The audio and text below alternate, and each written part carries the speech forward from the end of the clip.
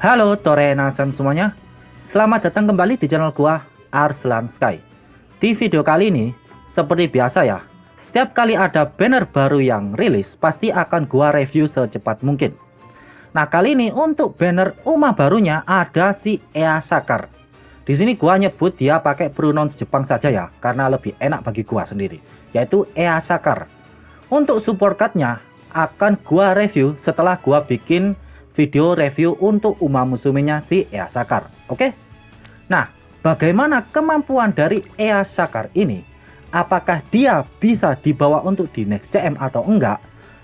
Lalu eh, bagaimana start grow up dia? Bagaimana unique skill milik dia dan juga apa saja skill set yang dibawa oleh dia akan gua bahas satu persatu di video kali ini.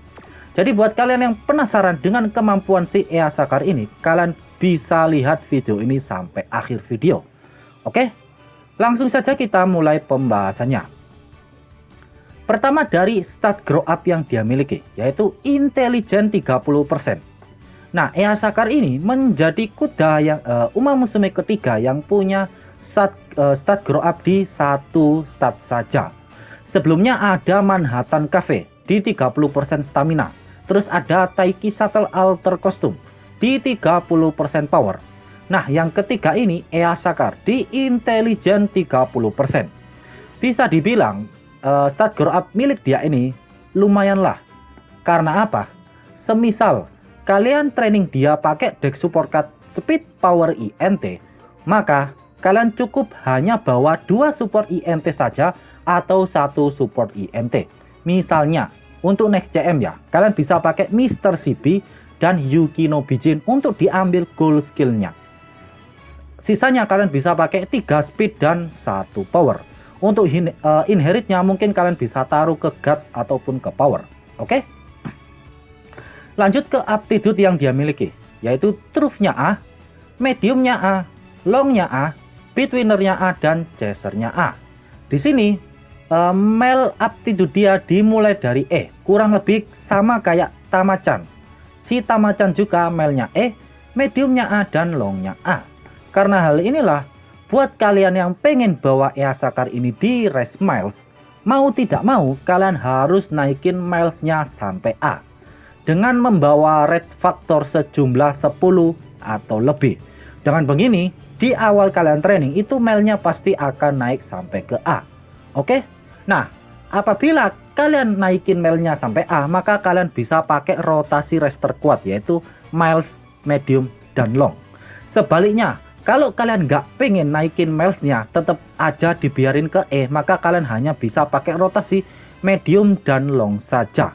Nah, kalau udah kayak gini, maka Ea Sakar ini ketika kalian training di Make a New Track akan jadi demerit buat di, uh, buat dia ya kan di awal training itu kan banyak rest di miles ya.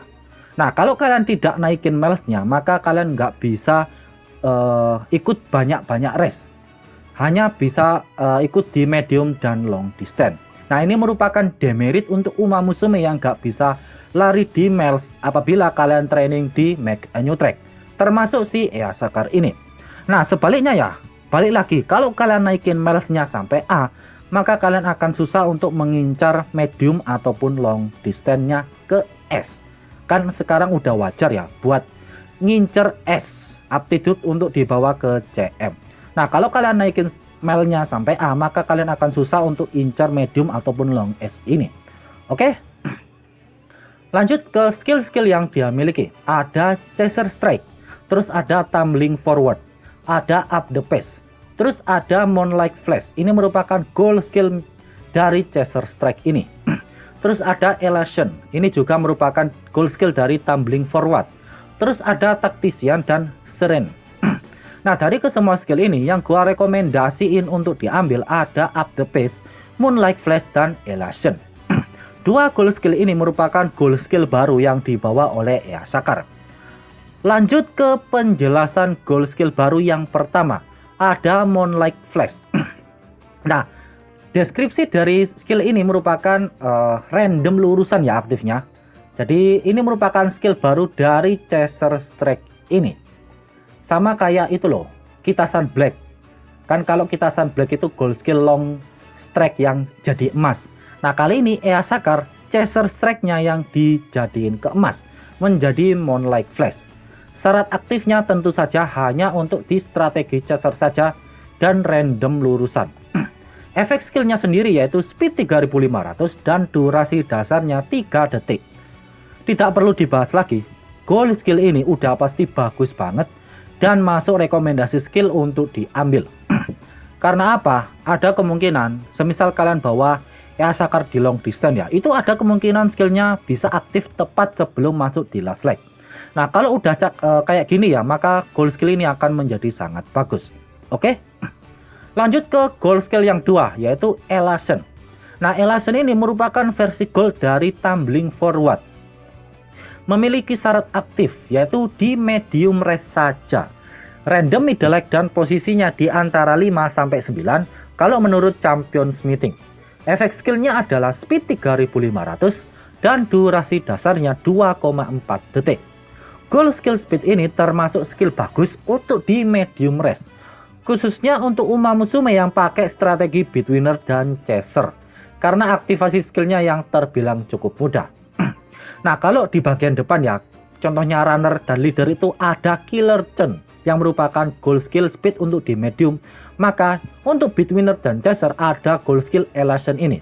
Sayangnya untuk saat ini hanya bisa didapatkan dari Ea Sakar saja. Nah, ya Sakar kan bisa lari di Bitwinner dan Chaser saja. Maka otomatis kalau kalian bawa ya Sakar ini di medium race, khususnya untuk di next CM, maka gua saranin kalian ambil saja skill Elation ini karena merupakan gold skill speed di middle leg. Yang otomatis skillnya akan menjadi bagus untuk diambil. Oke? Lanjut, sekarang kita ke penjelasan unique skill yang dia miliki, yaitu trigger beat. Memiliki deskripsi ya, Saisu kona ikoni Chudano uchirachi gawani iruto. Sorie no bako midaste. Saisu choksende saku, uh, sokudo agari kostoriga umakunaru Jadi ada prekondisinya yaitu Saisu kona iko yaitu last corner. Chudan ya ini loh. Uh, sorry. Bentar bentar. Nah ini Cudan berarti posisinya di antara 4 sampai 7 berada di inner fence Uchirachigawa. Nanti akan gua bahas apa sih inner fence ini di slide berikutnya ya. Maka kondisi aktifnya itu Saisu Choksende. Saisu Choksen yaitu merupakan last track. Jadi uh, uh, unique skill milik Easakar ini punya prekondisi di last corner. Harus berada di posisi 4 sampai 7 berada di inner fence, maka aktifnya itu di lurusan terakhir. Efeknya itu speed 3500 dan ada juga yang namanya land speed 350, durasi dasarnya 5 detik. Ulti dari Ea Sakar ini bisa dibilang aktifnya cukup mudah dan cocok dipakai di medium ataupun long distance. Untuk kalian yang tanya apa sih land speed itu? Nah land speed ini setelah anniversary kemarin efeknya adalah biar umat kalian itu lebih mudah berpindah jalurnya itu loh. Dan target speednya itu naik. Fungsinya itu seperti itu. Semisalnya umat kalian itu berada di dalam ya. Terus uh, unique skillnya si Ea Sakar ini aktif. Maka si Ea Sakar ini ada kemungkinan dia berubah jalur keluar. Berkat adanya land speed ini. Oke? Lanjut. Nah kalian bisa lihat dua gambar di bawah ini. Nah Tadi kan ada syarat berada di inner fence. Inner fence itu apa sih? Berada di dalam, dekat dengan pagar ini loh. Kan ada kayak pembatas ini loh. Ini loh pembatas ini loh. Nah, inner fence uh, inner fence itu maka Uma Musume si Easakar ini harus berada dekat dengan pagar ini, kurang lebih jarak uh, eh, 1 sampai 2 meteran lah. Gak boleh terlalu jauh. Nah, kalau sampai terlalu jauh sampai kayak gini ya, ini kan jauh banget ya, maka nggak bakalan aktif. Nah, gua rasa kalau uh, belum masuk di last corner ujung ya di sekitaran sini kan Uma Musume itu belum mereka itu uh, belum bergerak keluar. Mereka masih berada di dalam sebelum masuk di last corner terakhir. Nah otomatis ultinya Sakar ini akan mudah aktifnya untuk uh, nuntasin efek prekondisinya itu loh. Dia akan posisi 6 ini terus berada di posisi dalam. Anggap saja ini dia udah berada di posisi dalam. Maka beralih ke gambar yang bagian kanan dia ultinya akan langsung aktif. Kalian bisa lihat sendiri. Trigger beat. Di lurusan terakhir kan ini corner ya. Masuk ke lurusan dia langsung aktifin ultinya. Oke? Nah ini gua udah coba eh, beberapa kali. Ultinya Easakar ini konsisten banget aktifnya. Nah hal inilah yang menjadi salah satu nilai plus buat dia yang membuat dia bisa dipakai di medium range ataupun long distance berkat ultinya yang cukup mudah aktivasinya oke lanjut nah di sini gua coba ambil contoh lah di Res Takarazuka dan Kikaso. Tadi itu gua ambil gambar di Takarazuka ya, yang merupakan uh, syarat di Next CM. Maka ultinya Ea Sakar itu prekondisinya itu di area sini. Pokoknya, eh sorry. Pokoknya kalian itu si Ea Sakar ini di area ini harus berada di dalam. Kalau udah uh, satu detik atau dua detik udah berada di dalam, maka Ketika posisi dia di antara 4 sampai 6, maka prekondisinya pasti terpenuhi. Nah, begitu masuk di last track, pasti ultinya akan langsung aktif. Oke? Okay? Maupun di Kikaso. Di sini kan kenapa kok gua ambil Kikaso karena di relive-nya dia itu uh, Easakar menang balapan di Kikaso. Maka uh, last cornernya itu di, di sekitaran sini. Lalu ultinya akan aktif di last track ini. Juga termasuk bagus. Karena Kenapa kok gua bilang bagus? Ruang akselerasinya udah kelar, udah selesai. Jadi yang dibutuhkan itu speed, skill speed, termasuk ultinya Easakar ini. Oke? Nah, di kedua race tersebut ya seperti yang gua bilang, ultinya uh, timing si Easakar ini ultinya terbilang bagus untuk timing aktifnya dan bisa membantu dia untuk mengejar Uma Musume di depannya. Jadi selama last track, lurusan terakhirnya itu bukan ruang akselerasi, maka ultinya Ayasakar masih bisa dipakai atau bagus karena aktivasinya yang cukup mudah. Oke?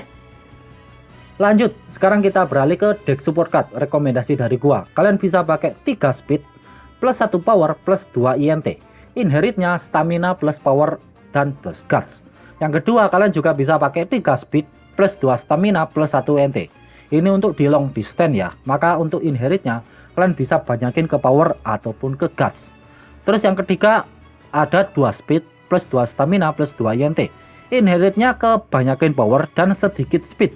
Atau kalian juga bisa tambahin guard juga. Oke? Okay? Untuk deck support cardnya kalian bisa sesuaikan dengan support card yang kalian miliki ini. Oke? Okay?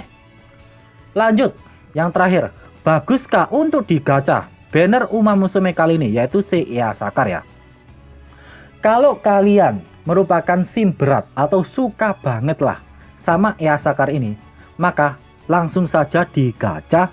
Kalian nggak usah uh, mikirin banyak hal, uh, apakah bagus atau enggak itu gak usah dipikirin lah. Mau jelek apa pun itu, gacha saja. Kalau kalian udah suka banget sama si Easakar ini. Nah yang kedua, kalau kalian uh, gacha itu mempertimbangkan baguskah baguskah dia atau jelekkah dia maka untuk Easakar ini uh, apa ya penilaian dari gua sendiri, meritnya Ea Sakar ini, dia skill setnya bagus. Dua skill set tadi, goal skillnya ya, itu yang pertama, bisa dipakai di medium race, dan bagus banget. Yang kedua, itu merupakan skill set yang bagus untuk strategi chaser. Jadi dua goal skill yang dia bawa, termasuk skill yang bagus. Terus, lanjut itu aktivasi ultinya cukup mudah. Jadi bisa dipakai di mana saja, asalkan uh, lurusan terakhirnya itu bukan ruang akselerasi. Oke? Okay? Dan demerit dari Ea Sakar ini untuk di skenario Make New Track dia gak bisa lari di miles sama seperti Tamachan. Namun kalau kalian maksa pengen banget lari di miles, maka kalian wajib naikin aptitude milesnya sampai ke A. Oke? Okay? Nah, bagaimana performa dia untuk di next CM itu bisa. Ea Sakar ini dia bisa bersaing dengan Uma Chaser lain. Contohnya si Goldship. Nah, Goldship, uh, Goldship ini kan dia punya unique skill yang sangat bagus banget. Yaitu merupakan skill speed di mid leg. Plus skill namanya Big Fan untuk menghilangkan pace. Nah, Sakar ini dia bisa bersaing dengan Goldship untuk di next CM. Tapi, untuk dibandingin dengan metanya ya, di Christmas Oguri ataupun Chocobon, maka dia uh, udah pasti berada di bawah mereka. Kurang lebih kalau ditanya, bisakah dia bersaing untuk di next champ? Bisa. Uh, jika dilihat dari unique skillnya yang mudah aktifnya, skill set yang dia bawa. Oke. Okay? Nah, bagaimana untuk di long rest? Nah, untuk di long rest ini masih ada Tamachan yang men, uh, menempati posisi meta. Karena apa? Unique skill dia bisa mendapatkan efek lanjutan. Punya strike shot sendiri di awal. Terus uh, stat grow up dia juga bagus. Punya gold skill namanya hold your tail hack versi gold. Terus ada Majiro Break. Majiro Break ini kuat di ultinya untuk di long distance. Terus juga ada gold ship lagi. Dia punya recovery sendiri yang bagus banget untuk diambil. Dan yang terakhir ada Narita Taishin yang juga punya gold skill akselerasi yang bagus banget untuk strategi chaser apabila kalian bawa di long distance. Nah mereka semua ini punya kelebihan sendiri. Nah bukan berarti untuk di long race city uh, di long race nanti ini apakah Yasaka tidak bisa bersaing? Bisa. Gua bakal jawab bisa. Asalkan kalian bisa training dia dengan kondisi level yang sama dengan mereka semua ini. Cuman kalau ditanya uh, Easakar ini berada di posisi berapa jika dibandingkan Tamachan dan ke semua chaser ini, maka kalau di long race itu, yang pertama itu Tamachan, ini udah pasti. Yang kedua itu Gold Ship. Terus yang ketiga, keempat ada Break, ada Cafe, terus ada Narita Taishin, baru ke Air Sakar. Oke? Jadi, buat kalian yang nggak sim atau nggak terlalu suka dengan Air Sakar, maka kalian bisa skip gacha kali ini.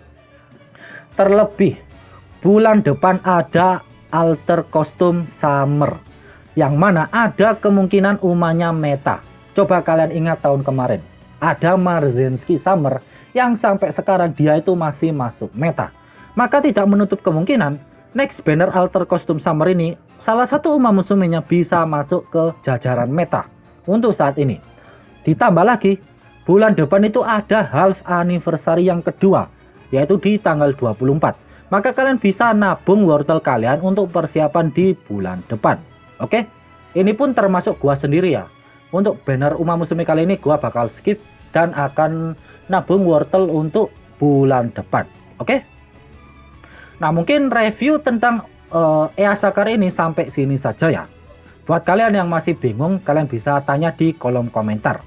Like jika kalian suka dislike pun gak apa-apa. Sampai jumpa di video selanjutnya dan bye bye